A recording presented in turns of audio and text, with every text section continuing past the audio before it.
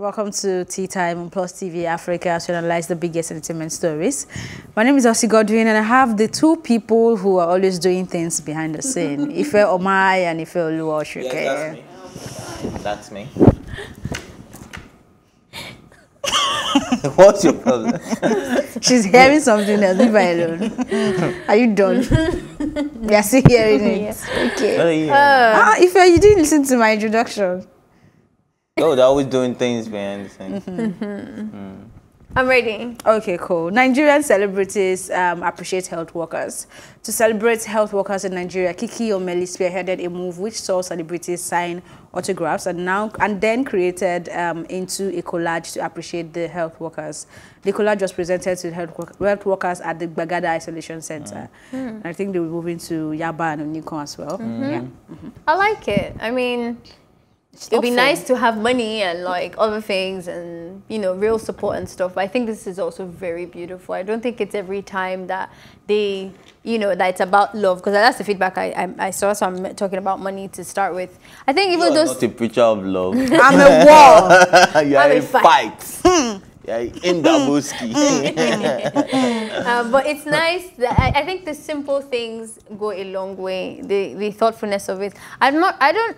I might be wrong here, but I don't think I don't think we have that um, culture in Nigeria to do little things like if it's We not don't money. appreciate little things. Not really. Like you see, But people what are is the big deal in all the people they mention? Just adding something there, like know. like face just masks or it, something. a just little juice or so- or they probably hamper did. or They don't want to talk about. it. maybe, yeah. But still, I still think that the thought The is hamper. I mean, that's that's, That's nice, little but yeah. big at the same time. Mm, just something to keep them. But it's Body nice and that soul they are together. like even thinking about it. The effort is beautiful. Um, the fact that they thought about that is also very nice. Um, it's something that we, we all need to be doing a lot more often because they're really trying for us. I think that lady that came out was a nurse, the last lady that talks about COVID nineteen.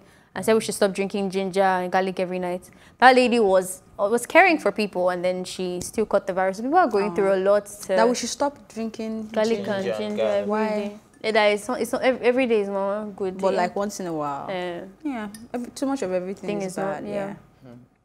Um, I like what they did. At least um, it shows that we have the health workers in mind, even though we've always known that they are heroes right now, and I think they will forever be our heroes because um, when this is over, if it's ever over, right? So, so um, I like this, and I think um, more people should um, add to this collage. Let's do our own, Everything is not about giving sometimes the thoughts the fact that these people know you're thinking about them you appreciate them and the celebrities as well what we want of to them do probably is we want to send you to the isolation center to, you know, so that we, they can know that we support us. i am a preacher of love i'm not a war on that one don't worry Okay, so kudos to them anyway. Um, Kendall Jenner agrees to pay $90,000 as settlement for Fyre Festival lawsuit. According to court document, Jenner was paid $275,000 for the Instagram post. Yeah she was paid 250k i mean 200 275k And she has to pay and she has to pay back. that's small now She has she still made money Yeah. so I'll, I'll gladly give that away but um the Fyre Festival though An it was- interesting one. It's it- Always mm, interesting. did you watch it? Yeah, you I did. did. Yeah. Oh, well, we, I remember talking. We watched a different one than that, that I that Oh, I yeah, watched. yeah, Yeah, yeah, I remember having that something that like that. conversation. What's interesting to me here is that an influencer is being charged for it. So is it the I mean, I guess it's a responsibility because you're an adult and um, to look into things. But if somebody has presented something to you looking extremely legit, Good. But then Ja Rule why am got I? away with it because He did. Very smart Jared man. is not an influencer now. He was into their business. Well, it was it. So Yeah, he he was the main face of the festival now. He, Yeah. he, yeah, he was part of He them. was the ma- he Ja Rule wasn't was the main organizer. Yeah. He was an one of the main organizer, not the main face of the mm. event. main face of the event influencers. was Not the the influencers, influencers, okay, not yeah. them. Mm. And I think that is why, from what your angle, is the reason why she has to pay just ninety thousand dollars from the two hundred and seventy-five to just say, you know what, we all contributed in um, Perpetrating perpetrating this this um, intentionally or It not makes sense that she's paying something. Um, I'm sure if she's paying something, that means she did came out to something say- wrong. no, she didn't No, do. no, she she didn't did have to do Why anything. Why would wrong. you? Can, can, So you I think think we're this just gonna is give just their money? to this is just to encourage influencers to say do your due diligence and probably have some values and know that okay this line I'm not going to cross and even if they are along your line you just go a, and a step further to know if these people are reputable enough for you to promote because um, a scam message might be going around and nobody will pay attention. But if you come and say, "Oh, right, this is nice," some a lot of people will say, "Because Elsie have said, I would want to do it because I believe that Elsie will not come and tell me to do something that is not um, real." So I think it's just to tell the influencer that they also have a level of responsibility. Who did she pay this money to? All the people that used to pay settlements, who did they used to pay it? Of course, you'd have given it to um, probably the court, and um, they would have sought out the people that are required. It's it's such an interesting thing. I think this is something that has been marked in the millennial history that we will talk about. It has to be like the biggest, Biggest scam, scam. Jinx. biggest scam that we've seen so far. Like they got there till they got there. And they give them bread and sausage. It's just mad. Um, it's the kind of things that you expect, you know, from maybe this side of the world, not there. And for somebody who's so polished, like I'm waiting for an actual documentary on this guy and giving more insight on him because yeah, there's there's definitely something there that is worth um, digging into. But I'm glad that you know it's not going to cost her anything because I think he's a toxic entrepreneur. yeah, From what from the one I Yeah. watched, so he doesn't even know when to stop. yeah, He just keeps going. Even when all the odds are against you, you're just, oh no, they've told me aspire to aspire. This is just downtime. just keeps going, there is a better pushing. one. It is doable. It is doable. But you're seeing that It's this thing is obviously not tanking. doable. Like it's not going to work. But it- so I think he has an issue. And even the one I watched, he was already moving on to another business. so it's, he's a weird human being yeah. actually. There, yeah, there's definitely more. Well, um, 90k out of 275 is just change. Like change. I wish you paid more. 90k out of our bottom line self is just That's you know, fair. You know? yeah, we cool, we cool. Do your due For diligence. Fyre Yeah. Festival, though, we'll always talk about that. I hope Yeah. somebody can pick that up and make it work because I loved the idea if it was Mm-hmm. executed. I think the problem started when they lost the venue. Yeah, That was where Yeah, everything became yeah. a big deal. And they lost the venue because of his own stubbornness as well. They thought that Mm. But because was we're paying you, Yeah. we can bend the rules and do whatever we like in your vicinity. And they're saying, Mm-hmm. no, this is not Africa where you buy them with money, you know. okay. it's time for a quick break. When we come back, we'll have more to discuss.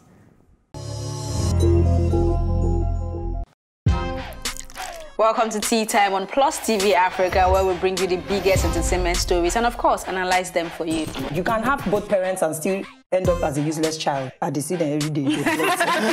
Most times I worry more about where I'm coming from mm. and where I am now. And that determines my next step. Why are you sounding like a Alibaba. now? Oh, Across TV Africa, we're feeling good. No time to dull, everybody feeling alright.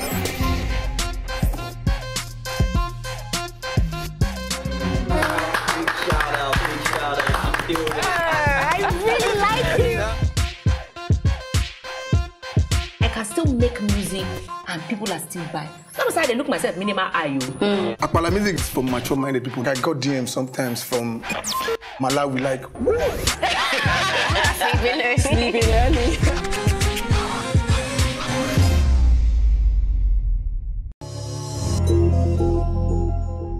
Sometimes call the people that work for you just to test their attitude towards the average customer.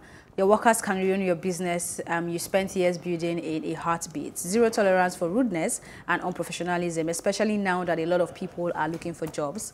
And this advice is coming from Uti Nwachukwu to business owners, I guess. And I think this is very important. It's a very, Very, good advice. Um, I also like the caveats he added at the end where he said, especially now that a lot of people are looking for a job. I think this that should be the reason for people who have just deliberately decided not to take customer service serious to see it as their selling point Yeah. now. Because the only reason I want to come back to you, especially when we're dealing online, is because of the way you made me feel. Yeah. So if I felt really bad and the next person is already advertising to me, I would rather take a chance to see how that person would treat me. And I have so many options, you know. So I think this is really important. I think there's something about um, Nigerians and like being rude as like a selling point or something. Like it's like a competition. Who can be crazier past? Who can be rude past? Like you know I am. I have grace. I mean, let's all be mad type of vibe. Um, and people bring that to work, and I think that's really disappointing. If you ask a question, if you they see that the question is not itching them well, they can just start to like fire you. And then they do this whole like um, screening thing where they judge by your appearance. So Yeah. um, uh, I'm really small, so I always know people first of all think okay, someone's a child or whatever. But by the Oh, time this one can't afford. yeah, so yeah, can't afford. And me, sometimes I even used to look like a crazy person, like I'm homeless or something. I, I, you just see that people would like quickly switch up and be like, "Uh, by the time I start talking, it's like, oh, madam, what do you want? Oh, no, no, no. And I That's the annoying I thing. think That switch is the most annoying part for me. It's because it now makes it bad. clear that Yes, you are. Exactly. What's the word now? Um, Stupid. That one. but I, I can't get over the fact that you said something like I'm homeless or Ah, something. yes, now, but I, I- I think we have to get to a level. The only balance I want to bring into this conversation is that I also think we need to get to a level of training. So I know people who are doing that job and have never been trained before. I think some people have it natural that they're very good with um, Customer um, customer service. service. They will smile. Fire is burning on that. Them life is going on at home. They will smile. What do you want? Can I help you? You see a little frustration when they start to sigh, like, okay, madam, we're getting tired. But they're good at their jobs and they're friendly and they're smiling. I think some people just don't know how to be those people. Some people need to be taught and like walked through. You smile, you answer the question. If the person asks you a million times, answer a million times a different way. Take it around, be be polite and all that type of stuff.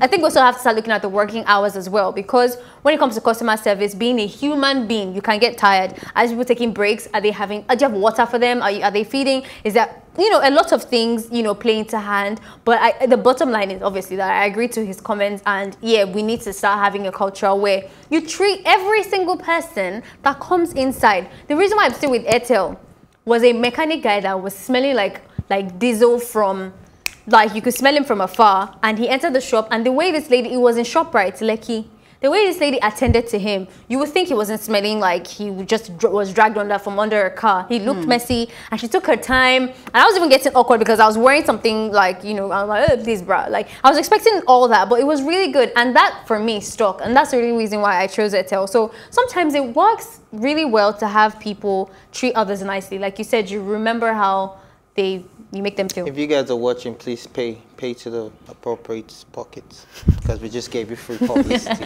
so um, for me, I've seen a lot of um, customer service attendants right that just look at you and they just feel like because you're dressed in some type of way, they'll give you preference. And I think you already mentioned that. But um, some of them as well, I'm not even talking about the ones that can see you, the ones that you even call on the mm. phone that they cannot even see you. Why? What is the excuse for being rude? Mm. Do you understand? Mm. Because it's okay to say that, okay, because this person is looking some type of way, let me be rude. Maybe looking you're homeless. Not standard. okay. It's Homeless. not No, no, no, no, no. Sorry, it's not okay, but no. You in get it. In comparison to, I can't see you. We're Mm. just talking on the phone and you're being rude to me. Why are you being rude to me?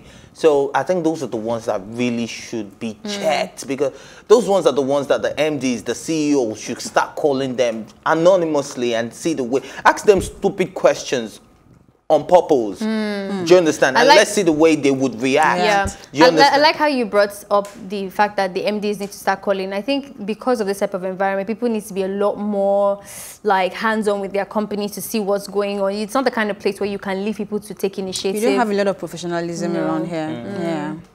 So those are the ones that I think they should be called from time to time. See the way this person and be like, okay, good take X, good take X. And when you get to work on fire anybody. You mm, know what I'm? Babala, firing. Yeah, like fire anybody. I, I because- just think we need to do better though. Our, our customer service culture is mm, yeah. extremely poor. I don't even think it just ends at these people that usually at the front desk or the customer care. Even those that are supposed to be making decisions in the company as well can actually be quite rude sometimes. Yeah. And they now tell you, not sit down there, put it where you want to put it. Yeah.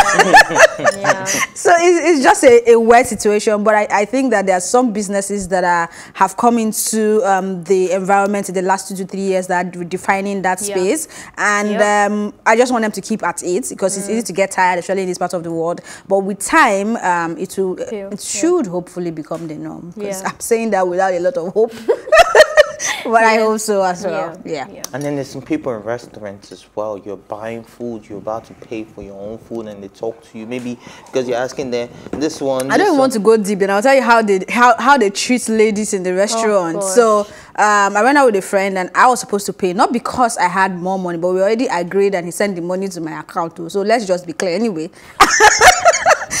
So you can't. So you can't pay. I can't pay, but I just want to be on. clear in case somebody's thinking that I want to take them out.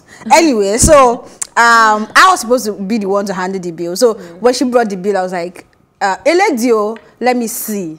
If you see the way she passed my hand, I went to the guy. I went to the guy. That, that one still, she's the one paying. You know, so it, it, it, it happens in different areas of um, um, encounters, and even in hotels when you walk in. As long as there's a lady walking in, you are there to see a man. Yeah. I'm It's very just- indecisive it's when I want to get food, right? And that's why most times I, I rather order online because if I have to go to the restaurant myself, I'll be like, ah, should I eat this? Should I eat this? They're already squeezing so their face They're already, by time, they're, they're already looking at you like, You buy sef, what you don't want be, to buy. don't be a, a terrible. and they don't show me varieties if you want me to be You know the worst is that they don't, want me to actually they don't actually tell you. Like sometimes they don't even know. If I ask like, oh, is that a, a meat pie or chicken pie?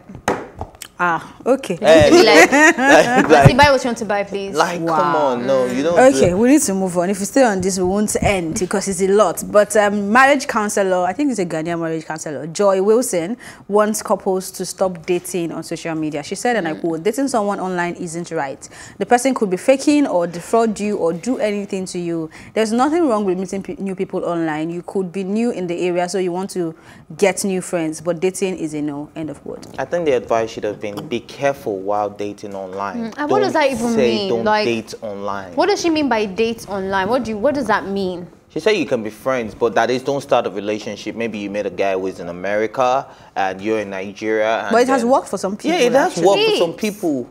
So that's why I'm saying that the Does she mean like that you shouldn't start a relationship online or don't even person. until you see the person or Yeah. don't um, keep the relationship to strictly online? Like you have to take it to the real world because I I, I feel like she didn't really She didn't articulate, Yeah, yeah, yeah. thoughts. She didn't really articulate because she started with that. Yeah, you can start it off, but take it to real life, and then she ended with don't date online at all. So I'm like, sis, like, what are you on about? Me, I'm. They should. Someone needs to make me an ambassador for dating online because that's my story. I met on. I met the person online. Yes, we met a few a few weeks after after chatting and everything, but I met them online, and I've met them. I've met him online. Sorry, my my current, my now my now fiance. But the reason I'm saying them is because even before that, I've met a lot of people that um, I find really valuable today. We didn't end up dating because there was not we couldn't trans- translate that chemistry online to mm. person, maybe physical chemistry or whatever. But they're still very vital. I think today in today's world, maybe our parents' time was different, where you can meet under the tree or something. But but here we don't really have that What does that anymore. you, Except you're except you're really like not, I don't explain if you have work or you live in Lagos for example where the, you spend all your hours in traffic I don't know how you're Don't going make to this lady give you work that you don't need to work. Abi? You don't need to explain this. to People are I feel meeting like- people everywhere. Everywhere. Even for me to say that, they used to know that people are meeting people everywhere. Because I am the person that will sit stand on the table to say, I'm not so comfortable with meeting people online, especially when your yardstick is going to be what does your profile look like, what does your mm. all these and you have to start researching and all that. I would if I have to choose between meeting people offline and online, I'll also choose Offline. offline. But anything can happen. You can re- meet someone who has it all together and has a good profile and it's actually not a scam and something kicks up Mm-hmm. and it's nice. So I don't think, I think people should be um, um, careful, like you said, generally, because online offline before online came, people were still demons. Yeah. After online we go, if there will be a time like that, people will still remain demons as Yeah. well. So just be careful and um, you can't be too careful anyway. If it comes and hits you, just manage it like that. I'm sure we'll get to a point where you just call me, I'll just pop out of your phone. You know, Hey. hologram stuff. That is, is can which, which, witchcraft taking no, over. hologram. It's not going to be the real me, obviously. No, but I, It's I, gonna I, be I think like they should. hologram. I've because for her, her, her, her, what's it called?